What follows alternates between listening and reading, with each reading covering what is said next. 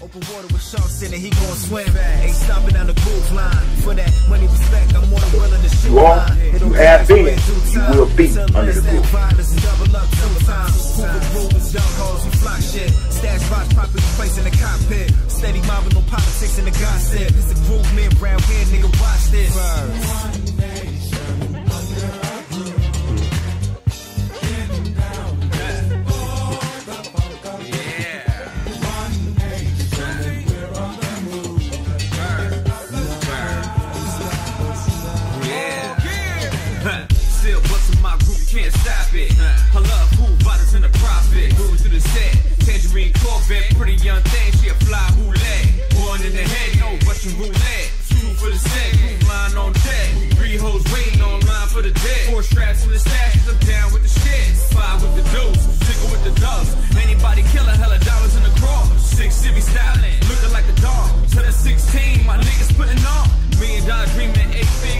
A reason. You will be under the groove. Trade four, 711, the deuce, and the nine. This Hoover Hay is for the collective. However, Hoover Knights and culture enthusiasts are more than welcome to sit through what I'm about to discuss. Today, I'm going to talk about getting back to what Under the Groove, the Hoover Story podcast, is about. When it was first conceived, it was decided that its foundation would be predicated on four things the Hoover story, a cautionary existence, atonement, and the real enemy. They all comprise of one thing, and that's history. The fact of the matter is that Hoover Street, before, during, and after, individuals from the area became these figures, these personalities, and the characters we've come to know, love, hate, and respect. Hoover Street was in its own right a household name before its gang culture gained its fame. This is relevant because history speaks to all things. It speaks about the stories of places and of people, intrinsically woven into this patchwork quilt we've pieced together. These places and people are unalterable repositories of history and experiences, not just on Hoover Street with Hoovers, but elsewhere in other places and with others in life. Most of us from there, though, don't discern or let alone can grasp the weight of this history. For some, it's too much to perceive, and for others, too heavy a burden to bear the responsibility of being front and center with this groove, its influence, its leadership, its complexities, and yes, its disappointments. They are all monstrous, and yet there are reasons then to be prudent enough to carry this history on our shoulders when we speak it or share it with others with absolute truth. The dissemination of our origins, history, people, experiences, and stories is a very serious matter. There are aspects of our origins and history that most Hoovers don't know, that some reject, and that others want to hide.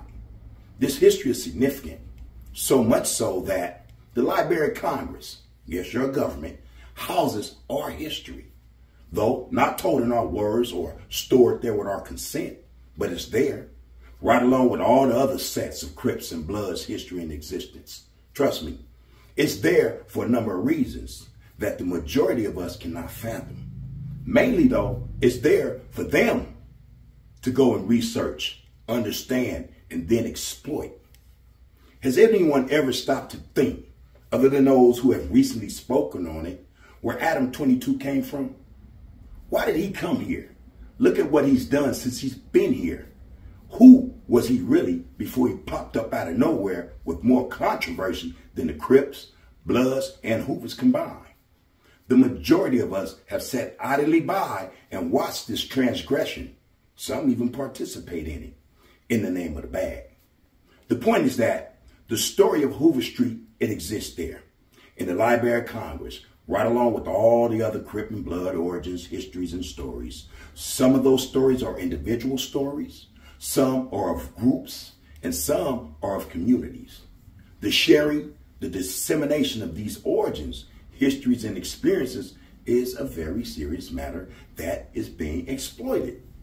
Consider this. There will probably be a movie done about him or someone like him who looks like them getting credit for exploiting our culture like they did or like they do or will do in the near future. Look, there are aspects of our origins and history that most Hoovers don't know or reject outright.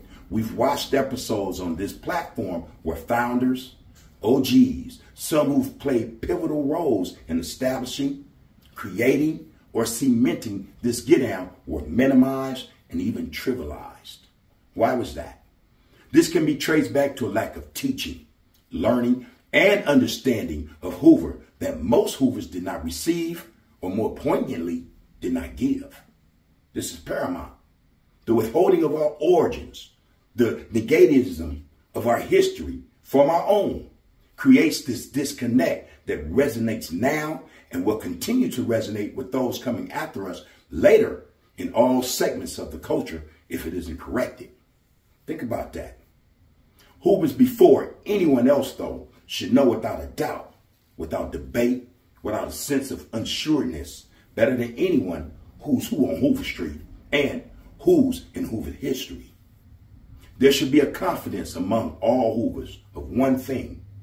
No matter where they are on this planet Earth, that is knowing our collective history.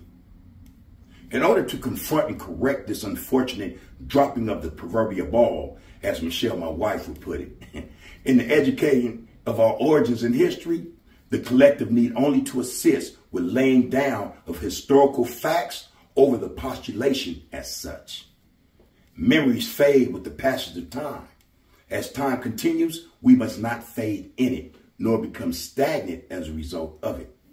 If allowed, this juggernaut that stands on this stage set some 52 years ago.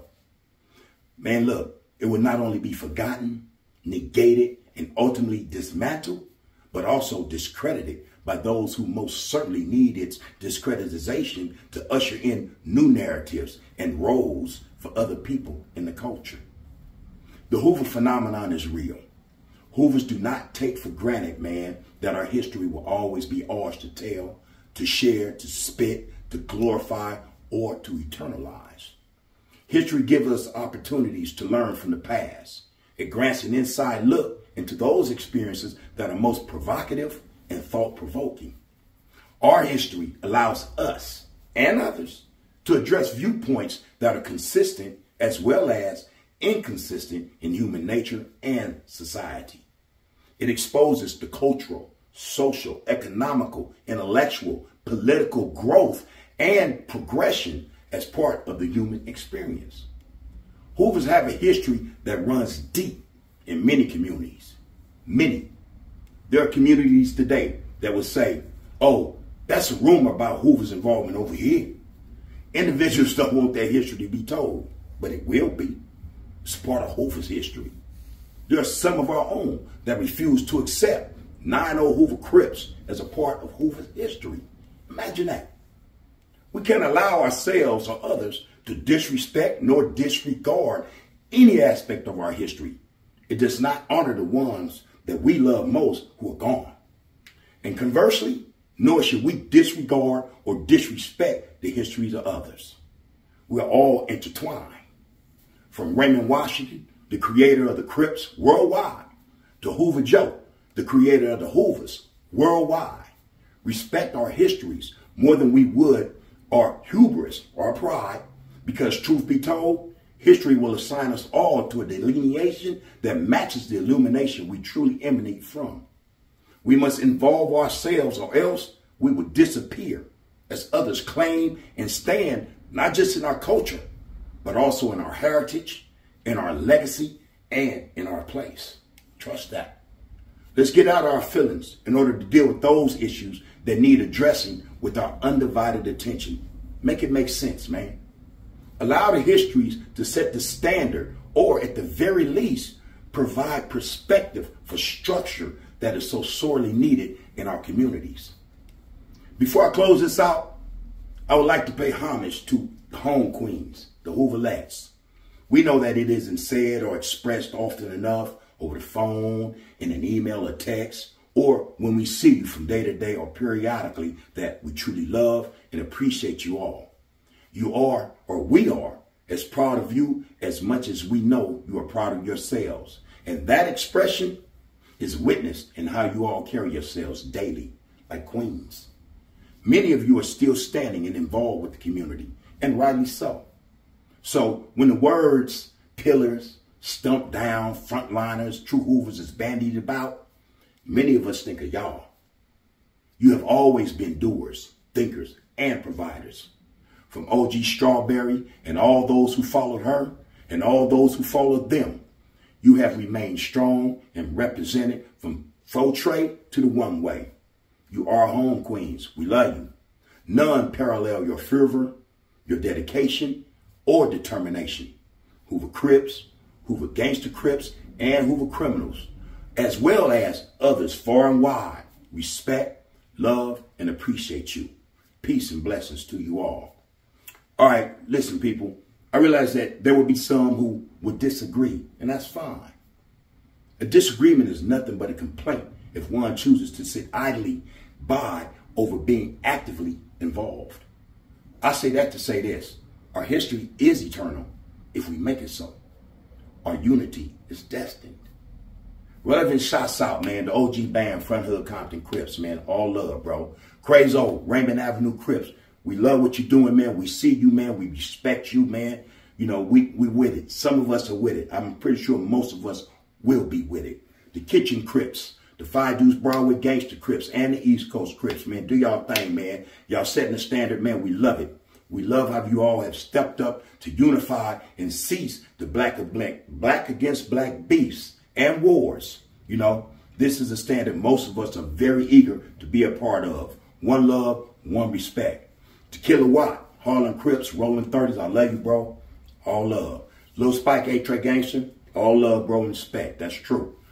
Chinaman, Lamb Deuce, Hoover, hey, keep doing your thing, man. Love how you doing it, man. Do it like that, man. Special shout out, man, to T-Bird, Nine Hoover.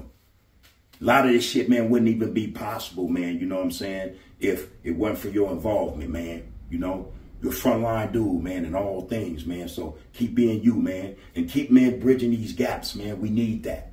And any of y'all out there like that, man, step up, man. Speak up. Some real shit, all right? You know, so hey, let it do what it do. To the culture enthusiasts, the Hoover Knights, and the collective, what's under your groove? Don't neglect to like, share, follow, comment, and mostly, most definitely, subscribe. Go check out our merch store, man, at shop at underthegroove.com. You are, you have been, and you will be under the groove. Peace. Trade folks, 7-Eleven, the Deuce and the Nine. You have been, you will be under the groove. We ain't gang banging. This is about education. We trying to educate our youth right now. nigga. Hey, said day is the best day. Skip walking across the floor in the best way. From trade to the one way. It's a stump day. LA to the NY. Let this funk you know, play. back in them days, it was love, loyalty, on that respect, bullshit. and That's my honesty, nigga man. Gumby right Nowadays, there from you the know, deuce, bitch. That's my ex-busters, nigga hooks, and snitches put on deuce, bitch. pedestals That's and my nigga venerated. Mo say lows on that Hoover shit. HIP, Tony Moon, one of the hardest poets I ever heard connected with this star shit. Hey, baby Jap and Jap 5, quick to set it off on the mic in the shack live. When the shit get real and feel to the wheel, and then you will see like a low nigga you sitting up in that motherfucker looking at that light center, that death center. Then they run into a witness stand, Yeah, telling on yeah, their own yeah, homeboys. yeah. Hoover stomp all night like this. I know like trouble. I know how to start them BS. Mo told me looking for me. Yeah. I'm a New York nigga in the Pacific Sun. I say West Side Hoover if you ask where I'm from. Province California still infusing my lungs. All about my bread, I ain't leaving Understand the the end game. What's your end game? and What's your purpose? Keep one in the head or I don't need a gun. I'm with Hawk on Hoover Street with a low ass jump. Hopping down Figueroa with a whole selling have Moving like this, come second to none. Grooving like be Young, grooving like Booker Bone. I'm bad to the bone.